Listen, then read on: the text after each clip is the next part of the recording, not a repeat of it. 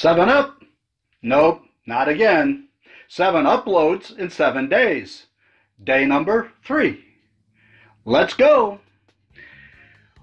We were up in the St. Joe Benton Harbor area, and I thought it would be a good idea, since we were there anyway, to stop by uh, Walmart or Meijers to see if I couldn't find a water bottle cage for my touring bike. I already have two, but I wanted to put a third one on the down tube uh, for fuel.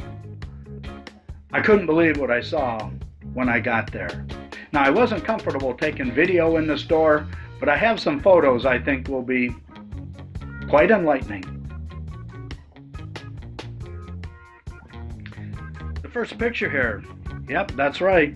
That's a bike rack at Walmart in Benton Harbor. Virtually empty. Let's take a look at the second picture here. Same place, Walmart on the other side. One bicycle? Now, at Walmart, I didn't look for, I was so shocked, I did not look for the water bottle cage, but I don't think there was much on the shelves there. Pretty much sold out. Let's look at the next picture. In Stevensville, I ended up going to the Meijers store. Look what I saw here. More empty shelves. Now, I looked for bicycle helmets and bicycle gear. Uh, they had some, but there's still a lot of empty space there. A couple days later, I was curious to see what it was like in Michigan City, Indiana. So I stopped first at the Walmart in Michigan City. There were a few bikes there, but not many. Usually, the bottom and the top racks are completely full of bicycles, but they have been sold out.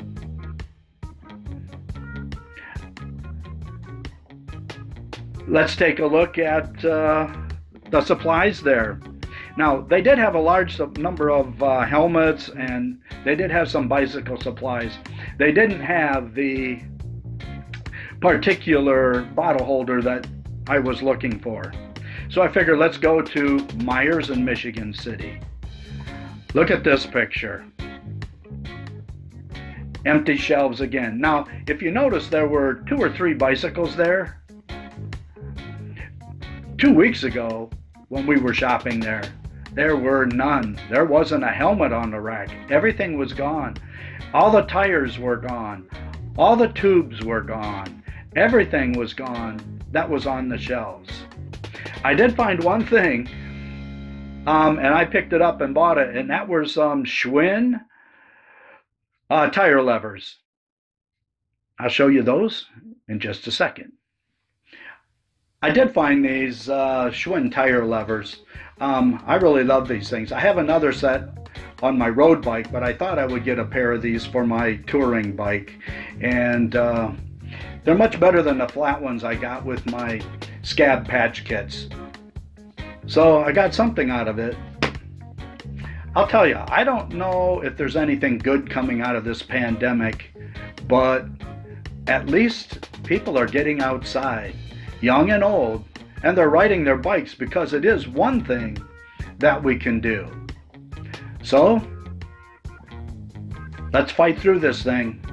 We can do it outdoors, get some fresh air, builds a little energy, enjoy the ride, the wind in your hair, what's left of it. Have fun, be safe on your bicycle. Have you ever made the mistake of riding your bike with the wind? Watch this video. I think the poem will say it all.